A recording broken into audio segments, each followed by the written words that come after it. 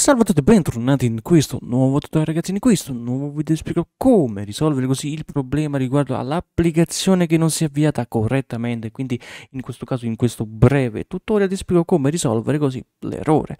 Ora andiamo un attimo sul nostro CMD, quindi vai a scrivere sulla barra della ricerca CMD prompt dei comandi, tasto destro sopra, esegui come amministratore il prompt dei comandi e adesso andiamo a scrivere sfc spazio slash scanno farà così una verifica di integrità dei file.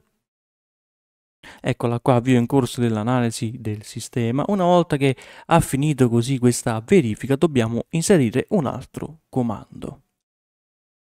Ora, in questo caso, una volta che ha finito così la verifica, andiamo così a scrivere dsm, quindi dism.exe, spazio, slash online, spazio, slash cleanup, trattino image, spazio, slash restore health. Ok? Proprio qua come c'è scritto fai invio e aspetta così la risoluzione ai problemi di integrità dei file. Quindi aspetta che il caricamento arrivi a 100%. Una volta fatto è stato ripristinato con successo, quindi puoi chiudere il prompt dei comandi senza nessun problema.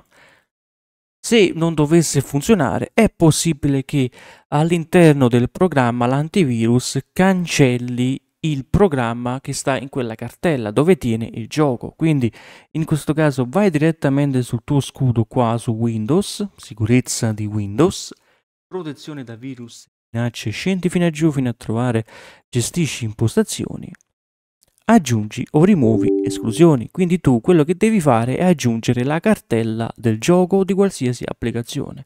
Aggiungi un'esclusione, metto la cartella e aggiungo una cartella qualsiasi come quella di Counter Strike, seleziona la cartella. Aggiungo quella di Counter Strike, così facendo l'antivirus non mi bloccherà i file all'interno, anche se dice che c'è un file minaccioso, come fa a essere un file minaccioso se è un gioco di Steam? quindi un gioco di Steam che ho scaricato su Steam, quindi come può uh, l'antivirus cancellare un programma del genere.